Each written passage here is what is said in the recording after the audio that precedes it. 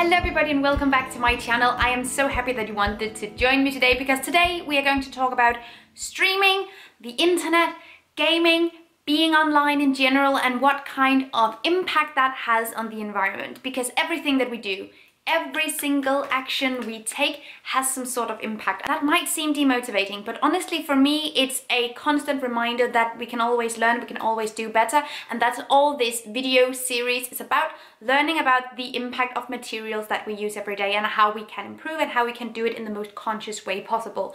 So let's get down to business and defeat the Huns. No, okay, cool. So the reason why I wanted to make this video is because I started my zero waste journey about five or six years ago at this point, which has been a long long time in the making. So old. But the zero waste movement has been, and to some extent is still today, very focused on physical trash. And I totally get that because physical trash is really, really important.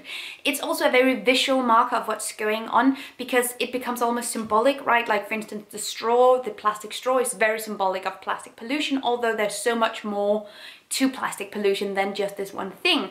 And that's sort of what I think sometimes that physical waste is in general, it becomes the symbol of an underlying structure which is generally not working very well. And I love talking about zero waste and ways to minimize your physical trash. I still think it's super important, but there are also other things that are equally as important and sometimes I might also argue more important.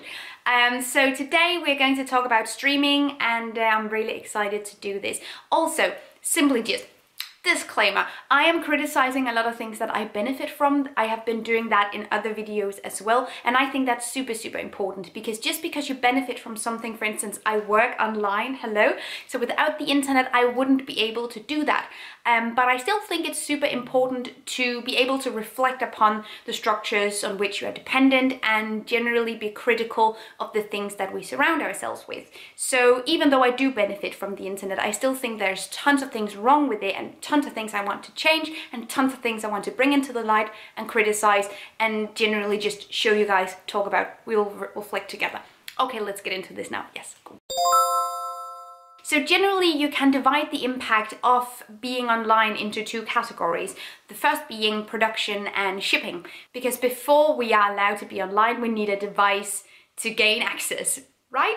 So that is everything from cameras and cell phones and laptops and all the electronic devices you can think of that has some something to do with being plugged in, being online. Those have to be made somewhere and those have to be shipped all around the world. Generally, it's estimated that one single smartphone requires around 230 kilos of raw materials to use. And all of these materials are mined.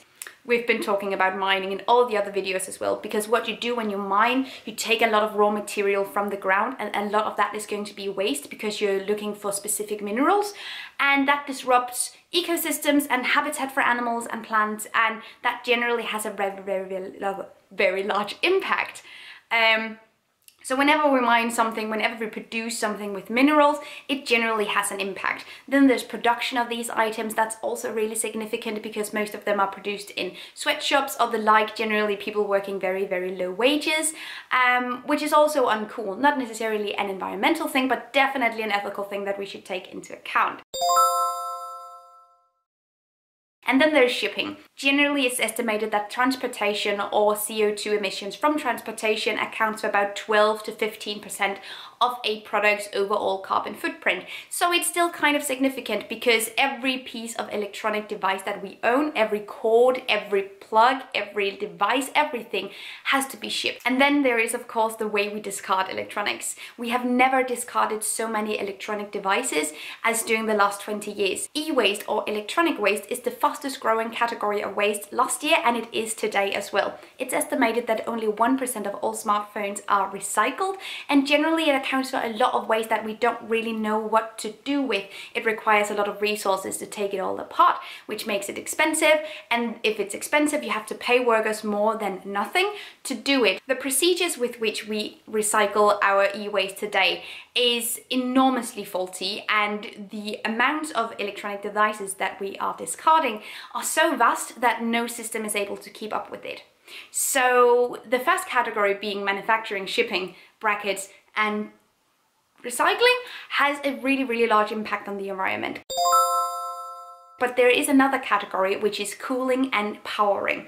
And that's something that's almost completely invisible to the average consumer. When we go online, we think of the internet as something almost invisible, like it's a cloud, it's just something that is above all of us and that connects us, but actually the internet is a very physical thing. What powers the internet are data centers, and data centers are situated all over the world. In 2012, it was estimated that there were about 500,000 data centers in the world, so that's probably gone up from 2012. And all of these data centers require powering and cooling. Think about how your electronic devices can sometimes heat up or even overheat.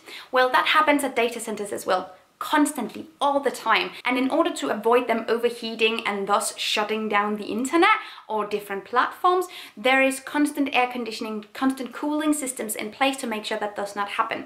And the problem with these sort of installments is that most of them run on fossil fuels.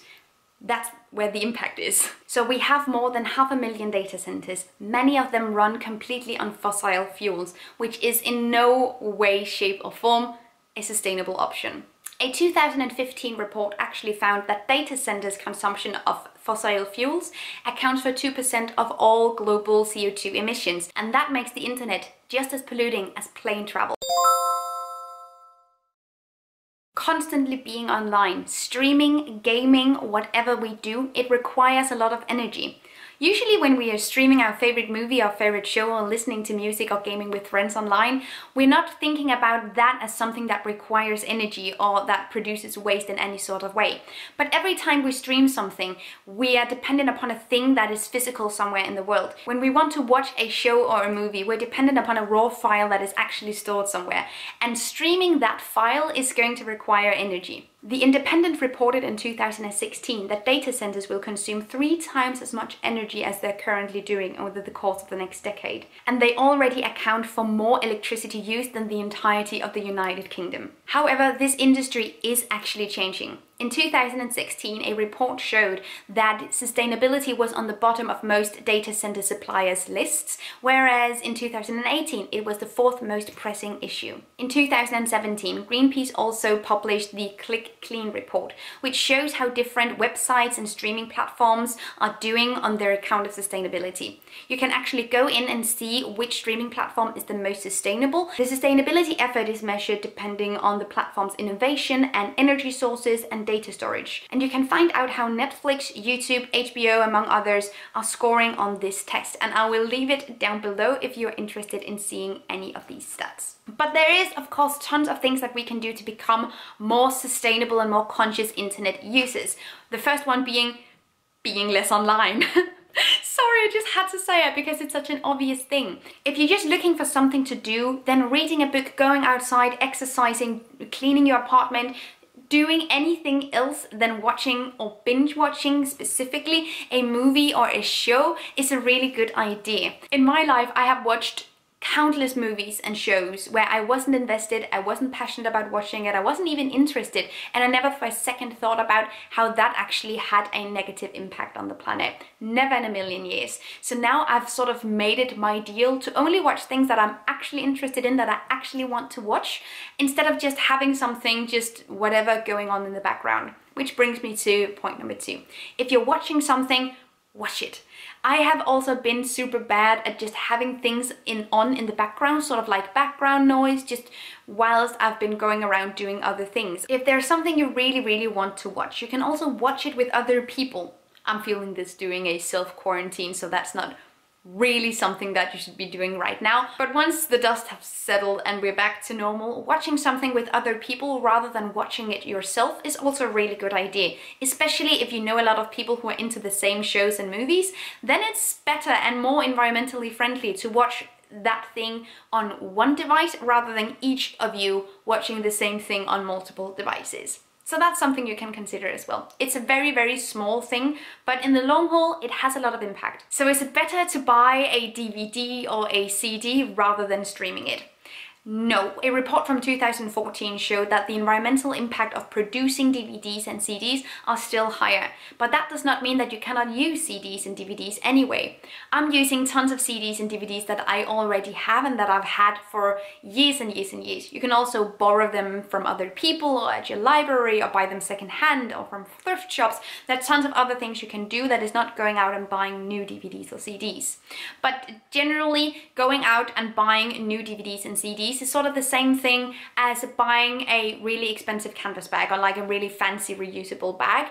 Using it only once like you would a plastic bag has a huge impact on the environment and is no way sustainable. But over time that thing becomes more and more sustainable because you're using it a lot of times. So for instance, my old Disney movies, which I love and watch all the time, they have definitely earned their right as a sustainable item because I've had some of them for more than 10 years and I've watched them so many times that at this point they are more sustainable than watching them or streaming them online. You feel, but going out and buying everything that you love uh, as new DVDs or CDs is not the way to go. You can also find out which sites are more environmentally friendly than others. A lot of the impact from streaming comes from how data centers are powered and cooled.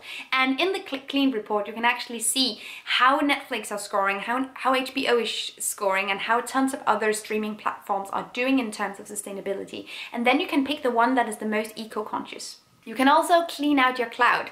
I used to have tons of documents and pictures that I never used and never looked at and never did anything with, just stored in Dropboxes all over the cloud. And over the years, I have sort of made it my deal to only store things in the cloud that are really, really important, like my lease and contracts and stuff that, you know, matters a lot. But just pictures and everyday normal blogger stuff I am storing on a second-hand hard drive that I have like an external hard drive. So I'm not storing any of these things in the cloud. I have them on this device instead. You can also use USB drives if you just want to store a small amount of things for a short while. These can honestly be found in so many thrift shops because people are just discarding them. I mean, what is earth even? And then you can find, what is this? Am I a cosplayer? Have you seen this? Woo! I, I don't know. Okay, so but you can also find an environmentally conscious search engine. Um, I'm using Ecosia because they plant trees every time that you use their services, which is really, really cool. I'll leave the link down below. They're not even sponsoring this video, I'm just plugging them because they are great. Um, so using a different search engine can also have a nice impact. These are just some of the things that you can take into account as an internet user. It does not mean, obviously, that you cannot use the internet ever. You cannot stream or game or do anything ever. But it's about being mindful with our resources. And whenever we do use these services, they should matter. So if you are watching something, make sure to watch it, pay attention. Um, if you can, try to binge watch less and do other things, like engage in other activities as well it's just something to be mindful of and also it's a great excuse to not sit down and watch TV every single day all the time and especially in these times where we're sort of inside a lot. This is something that really motivates me to get up and do something else because I know it's not only bad for me uh, just to sit and watch something on hours and hours on end, it's also bad for the environment. Um, so it's sort of become like a motivating factor for me to do this. But as I said, if you are watching, if you are streaming, I mean you are streaming right now because you're watching my videos, hello, um, and thank you for watching. It does not mean that you cannot do that ever, it just means that we need to be mindful with how we use, well yeah, everything.